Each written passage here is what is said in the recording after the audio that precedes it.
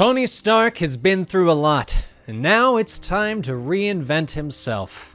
Welcome to Comicstorian, where we take trade paperbacks and single issues and break them down into digestible bites before reading them back to you in dramatic fashion.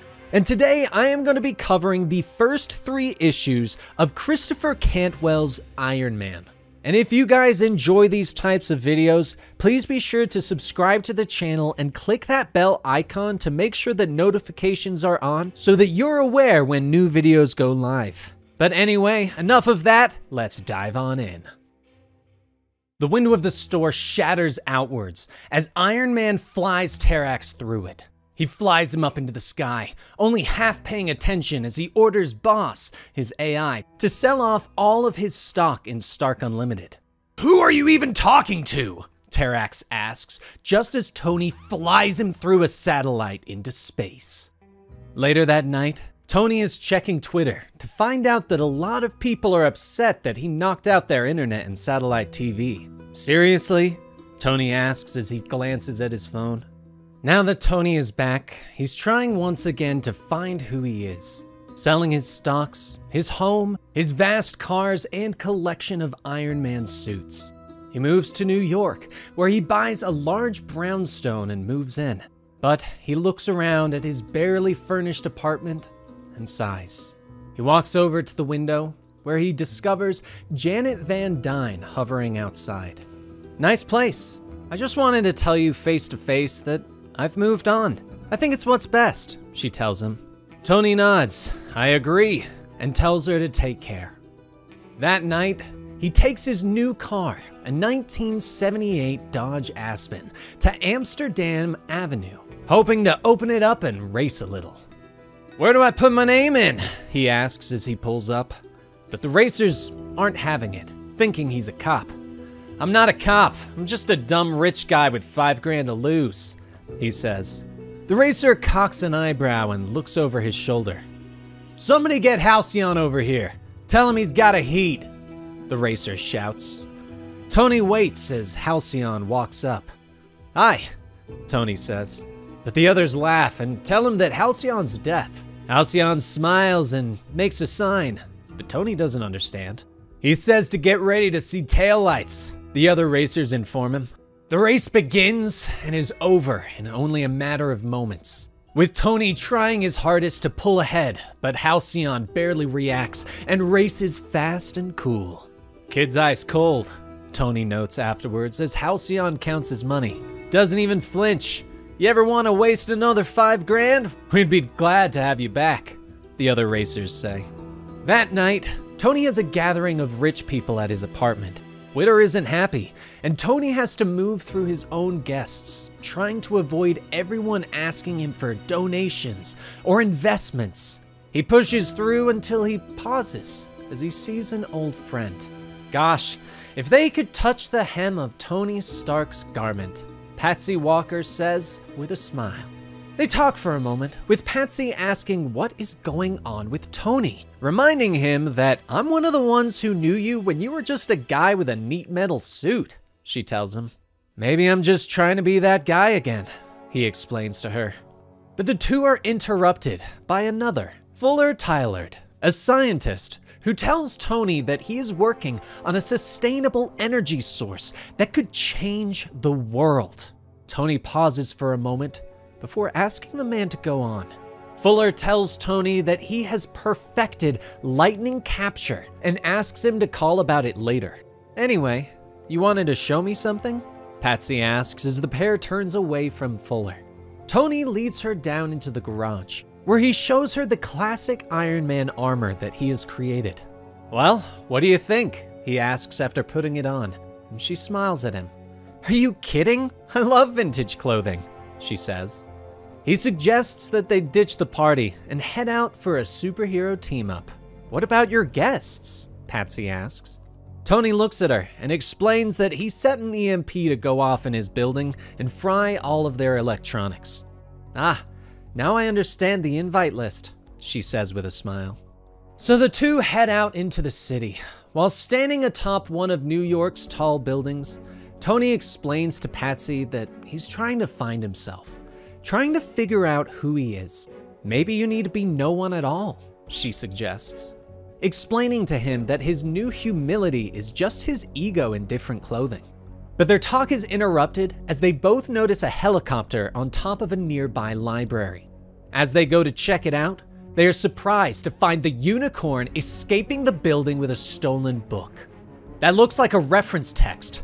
I don't think you can check that out, Tony tells him as he and Patsy appear before Unicorn. The criminal doesn't hesitate.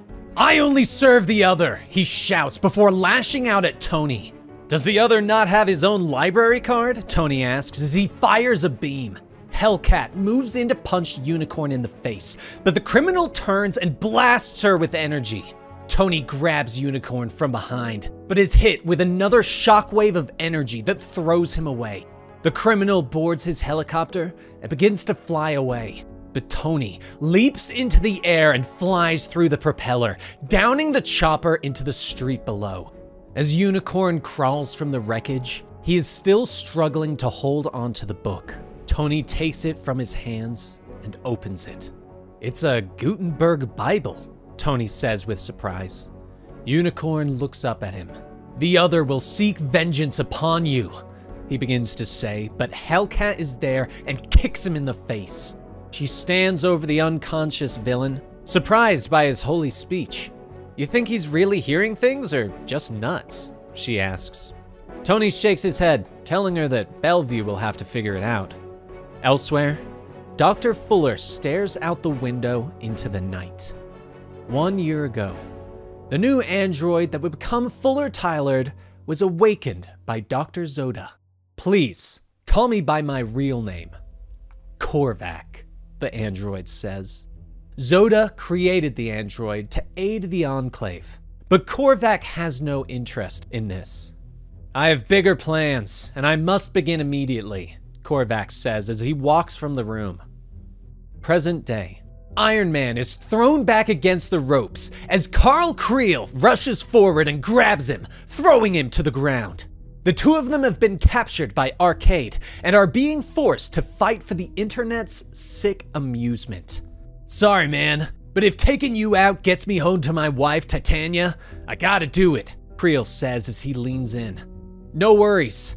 Though, maybe we should consider a different way to handle, Tony begins to say, but Creel grabs him again and throws him across the ring.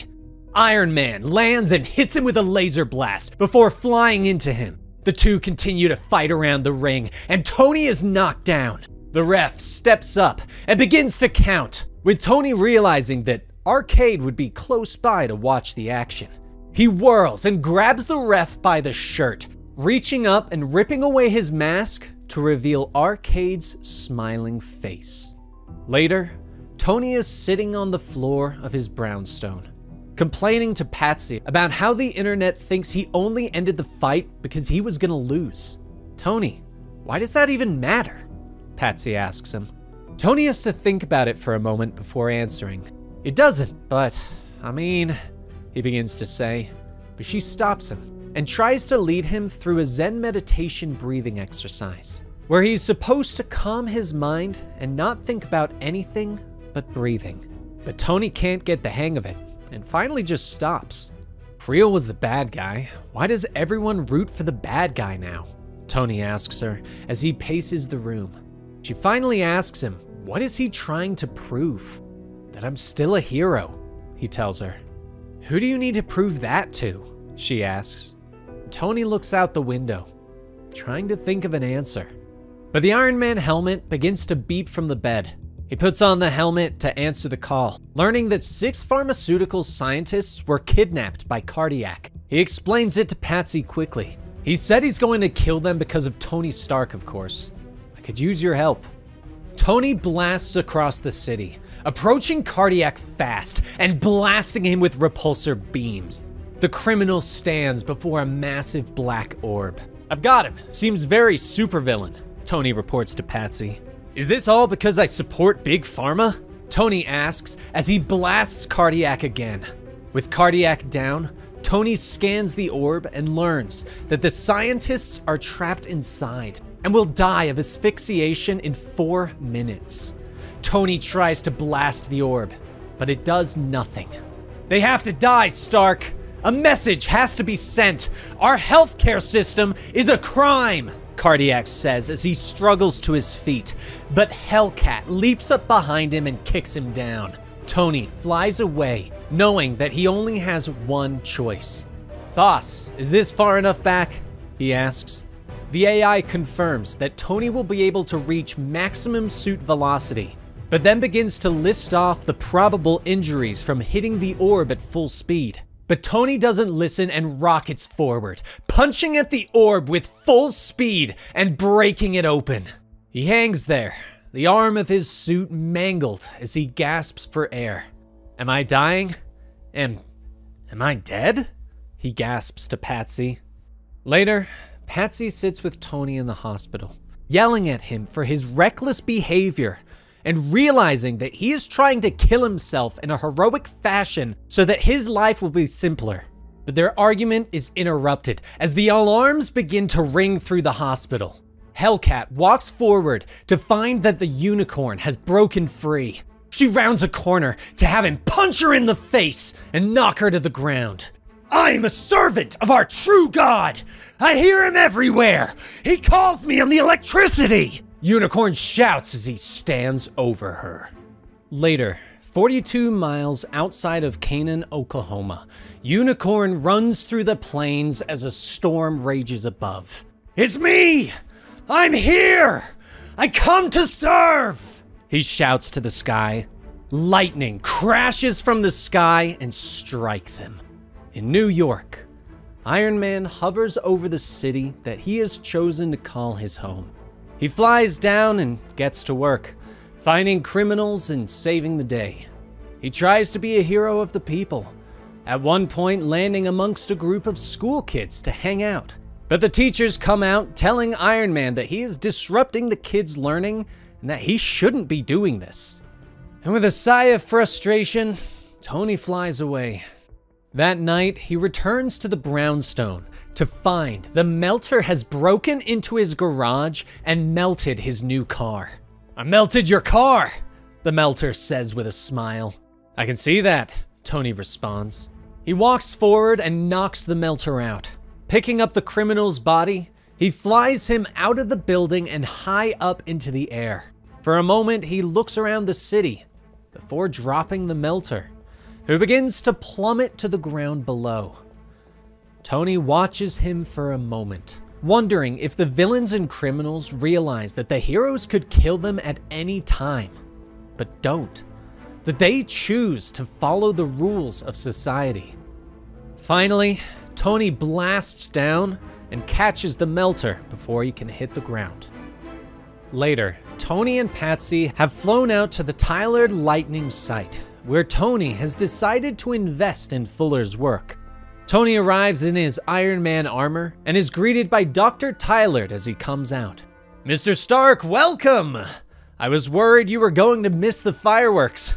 Didn't know you were going to show up in full accoutrement, Fuller says in a greeting. Tony floats in front of him. Apologies, Fuller. The suit will afford me a closer look at my investment without getting fried. After Tyler gives Tony some of the specs on his devices, Tony leaps into the air and begins to inspect it, and the storm begins to rage overhead. Tony looks at the lightning rods, noting that the Stark logo has been covered. Does the Stark name embarrass you that much? Tony asks Fuller over the radio. There's a momentary pause. Well, as much as I appreciate your financial support over these months, unfortunately, our partnership has to end here, Fuller says and Tony is confused. I can't have this traced back to me, Fuller continues. A bolt of lightning crashes from the sky and slams into Tony's back, knocking him into the ground where he bounces along the earth. He struggles to look up, his suit already malfunctioning. Apologies, Tony. You're a good man, but my disciples and I have a higher purpose, Fuller says now surrounded by three supervillains. With the power I'll pull from this planet, I'll become a demigod. But being a demigod is just a means to an end. I plan to be a god, Fuller says. But Patsy suddenly comes flying out of the storm in a jeep, slamming it into the collection of villains. God, I hate men pontificating in the rain, she shouts. She jumps out and helps Tony to his feet. I told you this was a bad investment, Tony gasps. He whirls and fires a blast at Controller. Good to see you haven't been moisturizing, Tony jokes as Hellcat whirls and kicks Blizzard. The fight continues until Fuller reappears, hitting both heroes with a blast of electricity that throws them both to the ground. Both heroes don't move, and the villains disappear. The suit restarts Tony's heart, and he struggles to his feet, pulling Patsy's body to him and cradling it in his arms. It's all my fault. Again, he says. And that brings us to the conclusion of the first three issues of the Iron Man Big Iron story arc. If you guys enjoyed this, and I really hope you did, please be sure to give the video a like, subscribe to the channel, make sure you hit that bell icon just to make sure you get notifications for when all videos go live, and it really helps the channel. Plus, be sure to leave a comment down below. Thank you guys so much for listening and watching, and I will see you next time with the next installment of Iron Man.